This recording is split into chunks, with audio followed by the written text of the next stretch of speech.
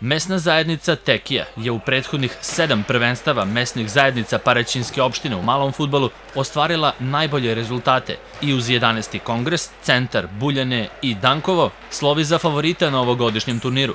U vikendu za nama odigrane su utakmice drugog kola. Nakon preokreta u drugom poluvremenu, mesna zajednica Branko Kresmanović je rezultatom 4-3 pobedila Čepure. Malo smo pali u drugom poluvremenu uh, kondicijono, nismo mogli da ispratimo, malo smo loše odbrano igrali, primili smo jedan gol malo nesretno, ali svaka čast momcima, bila je fair i korektna utakmica i lepo za gledanje, bilo je dosta golova. Bilo je dosta teško, zamorno, imali smo dosta poteškoća sa efikašnošću, utakmica protivnik dobar, utakmica dobra, bilo je dosta golova, publika je dobila ono zašto je i došla. Protivnička ekipa je dosta mlađa od nas i pobedila je ta mladost i na trčanje su nas dobili. Mesne zajednice Branko Krsmanović i Čepure imaju skor od jedne pobede i jednog poraza i ukoliko žele plasman u osminu finala, moraju do pobede u trećem kolu.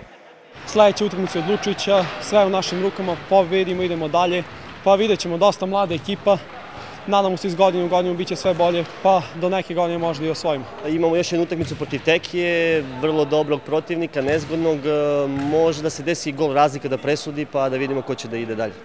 Najubedljiviju pobedu u drugom kolu ostvarila je ekipa mesne zajednice Dankovo, koja je u subotu rezultatom 20 prema 4 pobedila Lešije. Tada su još igrali Potočac Svojnovo 6-3, Sinjivirije sa 5-0 pobedio Popovac, a Bošnjene Ratare 3-2. U nedelju je mesna zajednica Tekija prema očekivanjima pobedila Centar 2 rezultatom 6-2. Stubica Zabregu 5-1, a Centar 1 izvor 8-4, dok je druga ekipa mesne zajednice 11. kongres sa čak 10-1 pobedila Gornju Mutnicu. Prvu pobedu smo imali isto velikim rezultatom. Uh, ja smo jedni od kandidata za osvajanje. Tu je i naša druga mesna zajednica 11. kongres.